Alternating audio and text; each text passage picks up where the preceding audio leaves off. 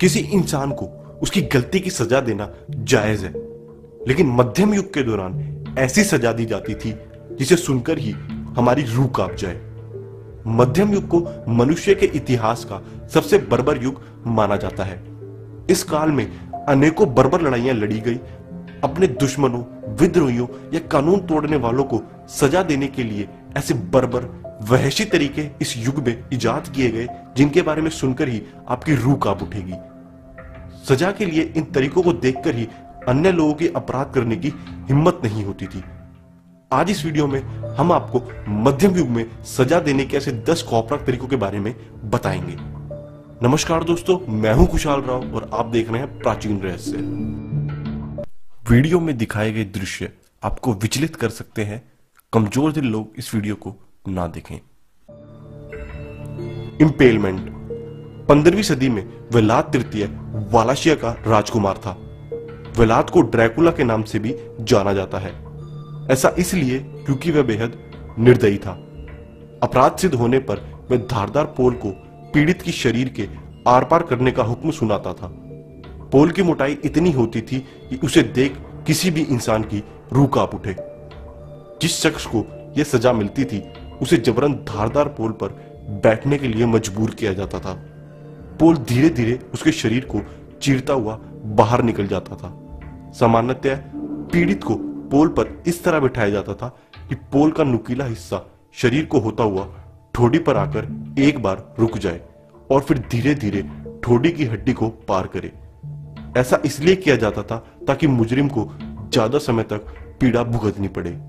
इस तरह से पोल लगने पर तीन दिन की असहनीय पीड़ा झेलने के बाद आखिरकार पीड़ित की मौत हो जाती थी। कहते हैं कि वलाद ने अपने शासनकाल में दो लाख से लेकर तीन लाख लोगों को यह सजा दी थी। वलाद इस कदर जालिम था कि उसे खाना खाते वक्त ऐसा देखने में बड़ा आनंद आता था। जरा सोचिए, तब हैवानियत किस कदर सिर चढ़कर बोलती थी। जूडस क्रेडल, यहूदी पालना एक बारगी देखने में धारदार पोल से जरा कम कष्टदायी लगे, लेकिन यह इंसान को तड़पा तड़पा कर मारने वाला हथियार था। लोगों को नग्न कर यहूदी पालना पर बिठाया जाता था। प्रताड़ना की यह प्रक्रिया बेहद खौफनाक होती थी। पीड़ित को तीन जगह से बंधे एक रिंगनुमा खाली सीट पर लटका दिया जाता था। फिर इसके नीचे यहूदी पालने को लगाया जाता। इस दौरान पीड़ित के पैर को रस्सी से बाँध दिया जाता था, जिसे खड़े कुछ लोग पकड़े होते थे।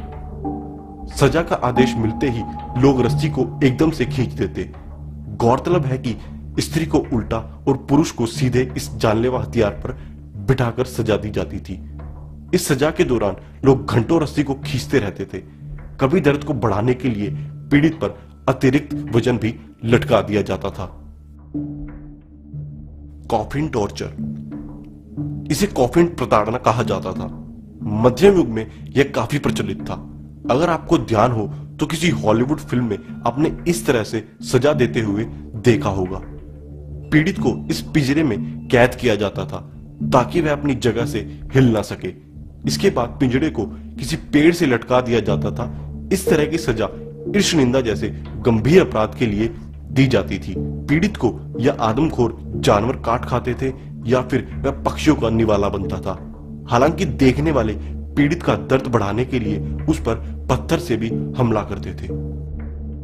दरैक दरैक, जिसे कि सामान्य भाषा में हड्डी तोड़ शया कह सकते हैं। मध्यम युग में इस प्रताड़ना को सबसे दर्दनाक माना जाता था। हड्डी तोड़ शया एक लकड़ी का फ्रेम है। इसमें लकड़ी के दो पट्टे होते थे, जो लीवर के सहारे ऊपर की ओर उठाए जाते थे। लीवर शया के दोनों ओर होता था।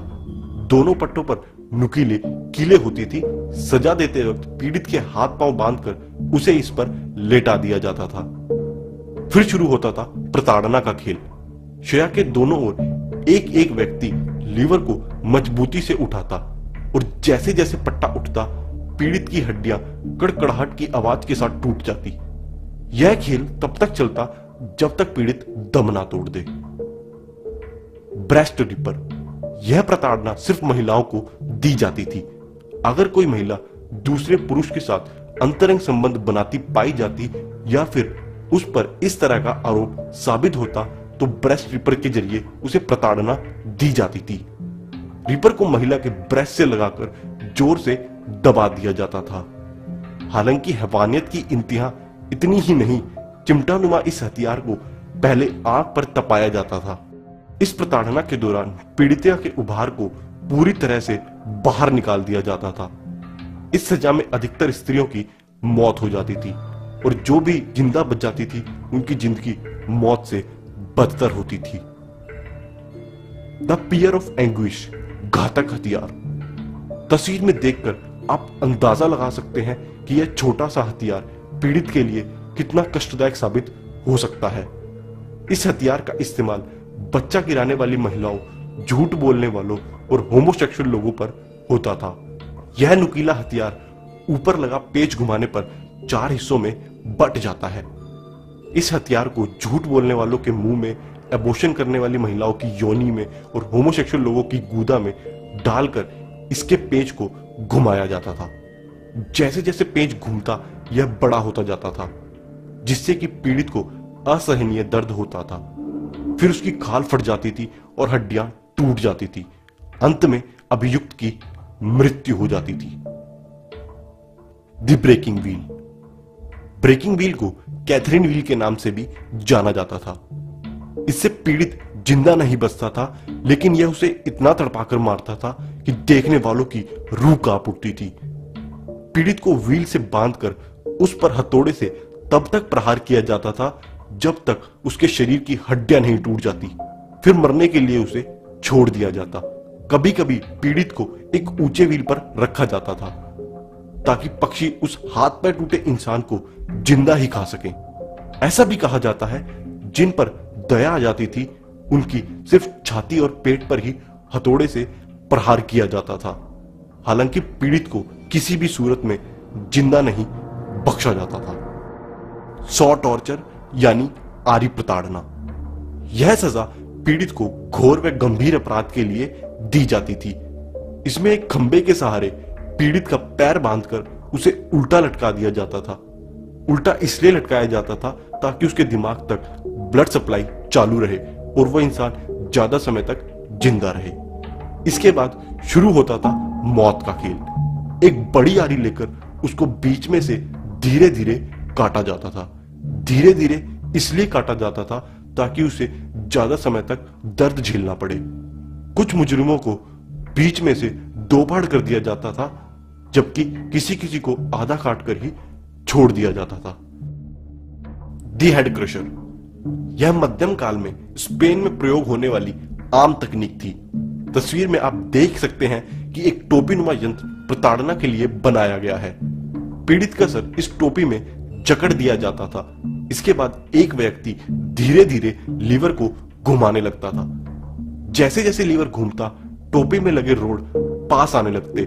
फिर एक झटके से पीड़ित का सर आवाज़ के साथ फट जाता। दिनी स्पिटर यह हथियार भी स्पेन में ही काम में लिया जाता था। इस हथियार को देखते ही आप अंदाज़ा लगा सकते हैं कि यह कितना खतरनाक होगा। इसे नी स्पिटर के नाम से जाना जाता था। इसमें पैरों के घुटनों को फंसाकर इसे दबा दिया जाता था, जिससे कि अपराधी के घुटनों की हड्डियाँ टूट जाती थी। इस हथियार के प्रयोग से किसी भी व्यक्ति की जान तो नहीं जाती थी पर उस इंसान के घुटने किसी काम के नहीं रहते थे। कभी कभी इस प्रताड़ना का प्रयोग घुटनों के अलावा कोहनी पर भी किया जाता था। तो ये थे वो दस तरीके जिन्हें मध्य युग में सजा देने के लिए इस्तेमाल किया जाता था। हमें ईश्वर का शुक्रगुजार होना चाहिए कि हम अब ऐसे युग में हैं जहाँ किसी भी अपराध की सजा इतनी भयावक नहीं है। दोस्तों, आज की इस एपिसोड में बस इतना ही। वीडियो पसंद आया तो इसे लाइक और शेयर ज़रूर करें। ऐसी और वीडियोस देखने के लिए आप हमारा ये चैनल